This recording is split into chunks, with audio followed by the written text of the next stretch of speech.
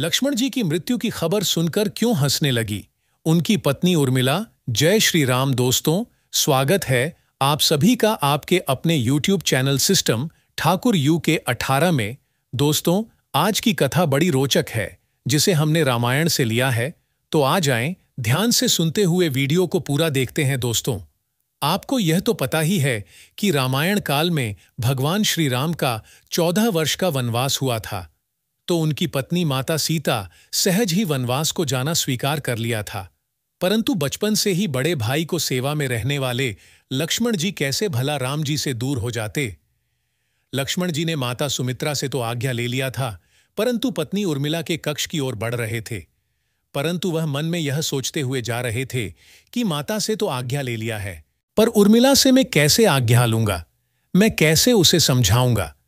मैं उससे क्या कहूँगा? यदि बिना बताए जाऊँगा तो वह रो रोकर अपनी जान दे देगी। और यदि बताया तो साथ जाने के लिए जिद करेगी और रोएगी। यदि सीता जी अपने पति के साथ जा सकती है तो मैं क्यों नहीं जा सकती? यही सोच विचार करके लक्ष्मण जी जैसे ही अपनी पत्नी के कक्ष की ओर पहुँचे तो देखा, उर्मिला आरती की थाली लेकर बाहर खड़ी उनकी प्रतीक्षा कर रही थी। जब लक्ष्मण जी उनके पास पहुँचे तो उर्मिला बोली, आप मेरी चिंता छोड़ दें। जो प्रभु की सेवा में वन को जाए तो मैं उसे रोकूँगी नहीं। मेरे कारण आपकी सेवा में कोई बाधा नहीं आए। इसलिए साथ जाने की जिद भी नहीं करूँगी। दोस्तों, लक्ष्मण जी को कहने में संकोच हो रहा था, परंतु उनके कुछ कहने से पहले ही उर्मिला जी ने उनका संकोच दूर कर दिया। वास्तव में यही पत्नी का धर्म है। पति संकोच में पड़े उससे पहले ही पत्नी को उसके मन की बात जानकर उसे संकोच से बाहर निकाल दे।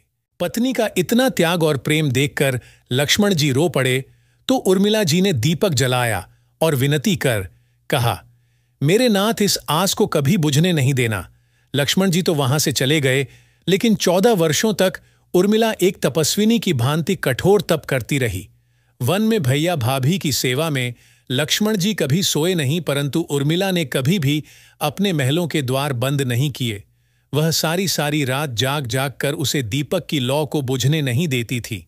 मेघनाथ से युद्ध करते हुए जब लक्ष्मण जी को शक्ति लग जाती है और हनुमान जी उनके लिए संजीवनी बूटी लेने गए थे तो उधर से जब पहाड़ लेकर लौट रहे थे, तब बीच में उन्हें अयोध्या में भारत जी ने शैतान समझकर उन पर बाण चला दिया और हनुमान जी को नीचे गिरा दिया।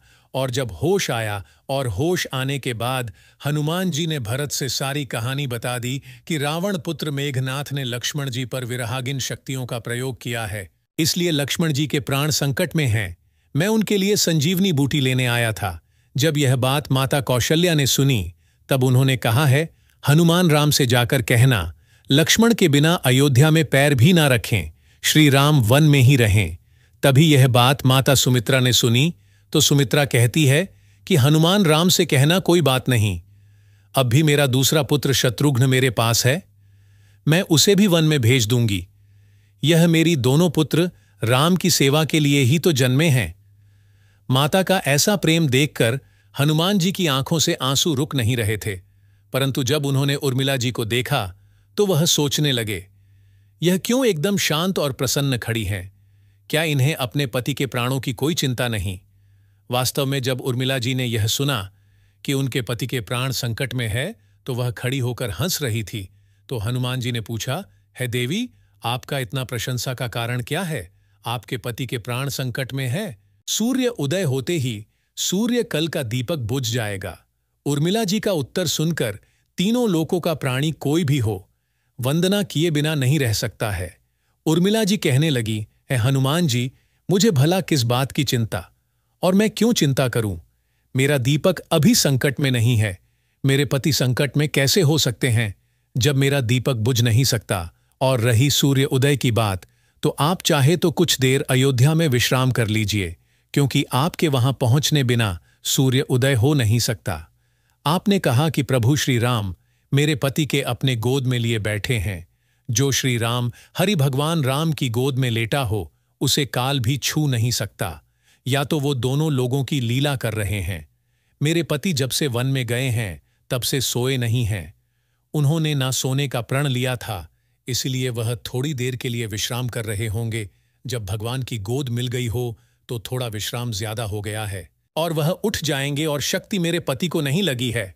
शक्ति तो श्री राम जी को लगी है। मेरे पति की हर सांस में श्री राम है। धड़कन में श्री राम है। हर जगह रोम रोम में श्री राम है।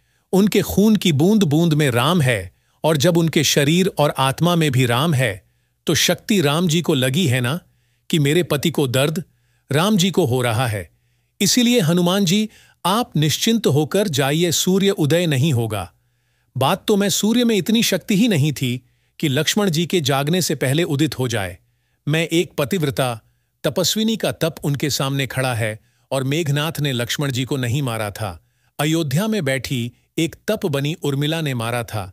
धन्य है वह पत्नियाँ, जिन्होंने अपने पति के याद में ऐसे हज़ारों वर्ष तक जीवन बिता दिया कहते हैं। रामराज जी की नींव, राजा जनक की बेटियाँ ही थीं।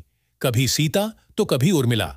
भगवान राम ने तो केवल राम राज्य में कलश स्थापित किया था, परंतु राम राज्य इन सबके समर्पण, त्याग और बलिदान से ही आया था। दोस्तों, यह कथा यहीं तक थी। यह कथा आपको कैसी लगी, आप कमेंट करके अवश्य बताएँ। और दोस्तों, हमारे आने वाली वीडियो को देखने के लिए हमारे चैनल को सब्सक्राइब अवश्य करें।